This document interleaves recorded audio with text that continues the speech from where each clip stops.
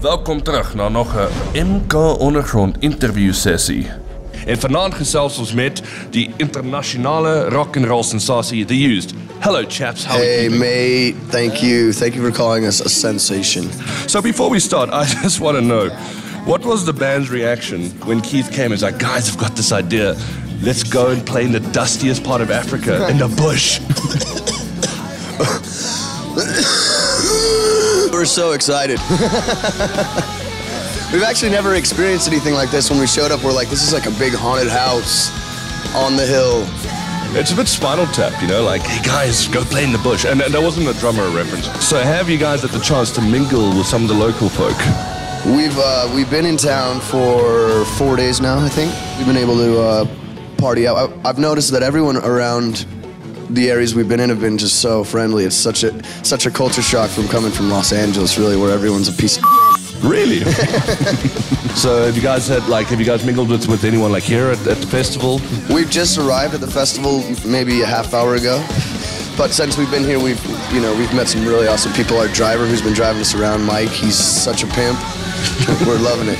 He's actually a pimp. Oh, really? Slapping hose and stuff. It's cool. Autograph for 50 bucks. so, sorry, here's the token serious question for the interview. Sorry, sorry about this. Um, Love it. So, in regards to in regards to the band's name, is it referring to anything in particular? It's changed meaning so many times, but I think that deep down we've all felt used at one point or another and been used by someone or um, felt used up or maybe used other people. So I think the used is, is pretty um, self-sustaining. Because every day something will get used. Yep.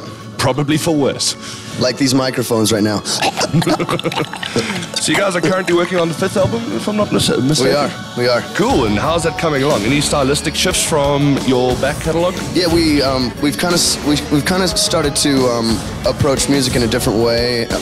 We um, the last record we started this whole gross pop revolution, and, and and being out being without a record label this time has just only made it that much more possible to do whatever we want. So there's a lot of hip hop influence, there's a lot of pop influence, a lot of R&B influence, and just really catchy melodies with disgusting rock and roll music over the top top of it. Gross pop all the way. So besides playing the amazing Oppikoppi Festival, what else are you guys going to be doing in South Africa? We had a, we had a bit of a safari yesterday. Saw the mountain wizards and the um, the lumums, and then um, You, you know that's how we get bands here. We just say like, cool, play for cheap, but you get to safari. right, and um, we're going to Cape Town tomorrow, so that's that'll be exciting. We're gonna we're gonna jump off the uh, the mountain, Wow. Oh, cool. and we're gonna swim with sharks and leeches and Fight bears. and- octopus. Do you have any parting thoughts for the SA crowd before we make the biggest dust cloud on the planet? I can't wait. I've been looking forward to this the whole time. The Used is so excited to be here, and we came to rock, so I hope they're ready. You know, and we're fans of music first, so we know how, how it feels to to be, to be excited about something like this. So it's cool. Rad. Thank you, The Used. You're welcome. Thank you, man.